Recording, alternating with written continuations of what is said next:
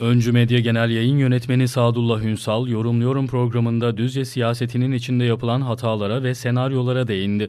Ünsal, AK Parti Beyköy Belde Başkanı Osman Yavuz'un şehitlerin olduğu gece yakışıksız bir paylaşım yaptığını belirterek şunları söyledi. Duygularını bahsediyor ama çok siyasetten, etikten, edepten, hayadan çok uzak.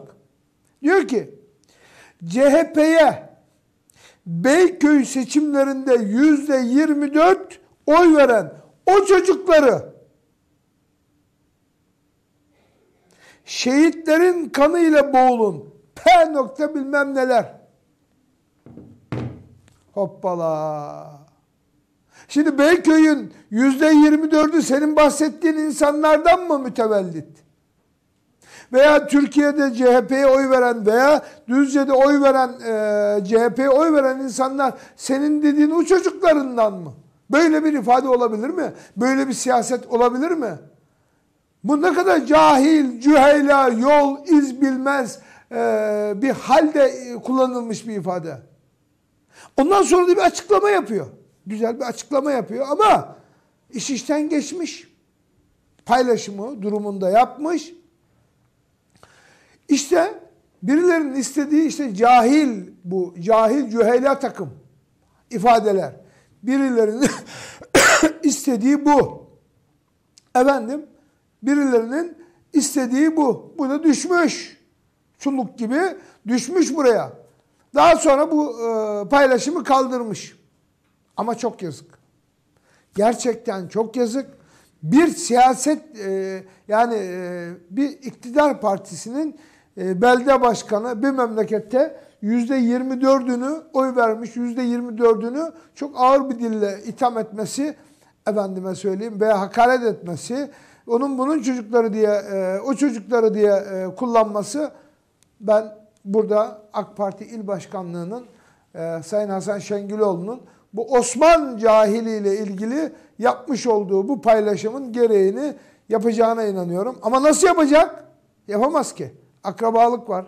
Osman, oradaki Osman, işte e, Yahyalardan e, oraya gitme, e, yani soy isimler değişik ama akrabalıklar nasıl yapacak onu da bilmiyoruz. İş bilenin de kılıç kuşananın atasözüyle konuşmasına devam eden Ünsal şöyle konuştu. Bir senaryo var. Özellikle de Akçakoca'da bir çıkmaza girdi.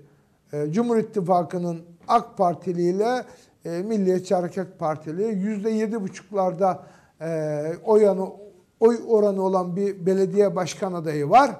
Efendim e, bir karışık bir durum var. Fakat burada burada e, Nevin Gökçek hanımefendinin ismi geçiyor. Sayın Melih Gökçen eşi Akçakocalı bizim de hemşerimiz. Hanımefendi iyi bir insan. Ama Akçakoca'nın mahallesini bilmez, insanı tanımaz. Memleketine yatırım e, faydalı olmak için veya bir mücadele veren bir hanımefendi. Ama Nevin Gökçek ismi burada anketlere giriyor. Allah Allah. Altı tane aday adayı var. Altı tane aday adayı var AK Parti'den pırıl pırıl aday adayı olmuşlar. Hani bir tane o var bu var işte hepsi var. Hepsi de birbirinden kıymetli. Yani nöbetçi adaylar var bu e, Çakırlardan e, Sefa Çakır her yerde aday.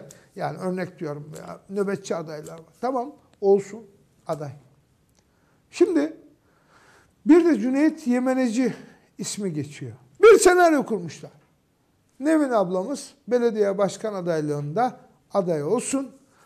Cüneyt Yemeneci eski belediye başkanı onun yanına e, kontenjandan girsin belediye meclisine.